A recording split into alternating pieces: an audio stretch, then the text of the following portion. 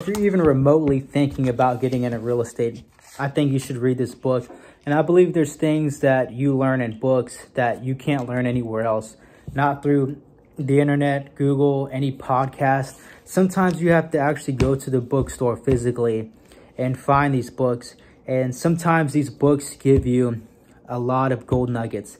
And that's exactly what this book gave me. And I hope that it helps a lot of you out there, especially you uh, newbies trying to get into real estate like I once was. Um, and I guess still am. this book right here, Building Wealth One House at a Time by John Schaub, um, is the best book I've ever read. I'm 25 years old, um, and I've read hundreds of books. Um, and this book right here really helped me, um, you know, get started. And there's a lot of noise in the YouTube world. There's so much going on out here. Everyone is trying to teach you the sexiest strategy, the most luxurious strategy, the most complicated buy, fix, flip. It's not that complicated. And John Schaub says it himself in this book. You don't need a lot of money to get started in real estate. You don't even a lot, need a lot of education.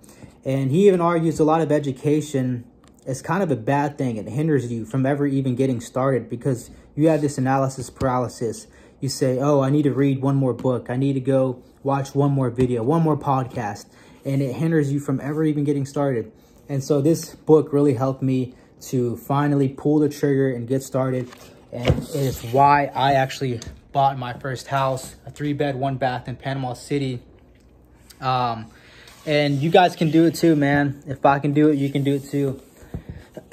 and um, this book really dumbs it down and teaches you A to Z what to do and how to build wealth, um, you know, with the long-term mindset. And, um, you know, building wealth, it doesn't happen quick, man. it happens slowly. And I think that slow and steady wins the race. You heard it, you heard it a million times. And, um, you know, this book really helped me. I think it'll help a lot of you guys out there. Um, one thing that keeps most people poor is the fear of buying that first house.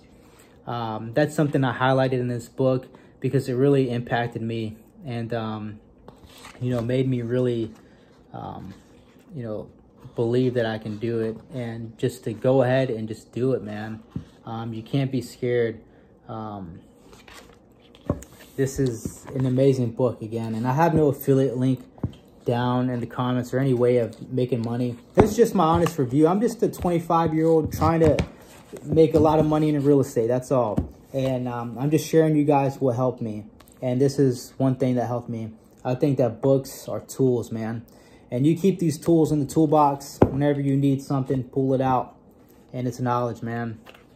Anyway, thanks guys for watching. Until the next video.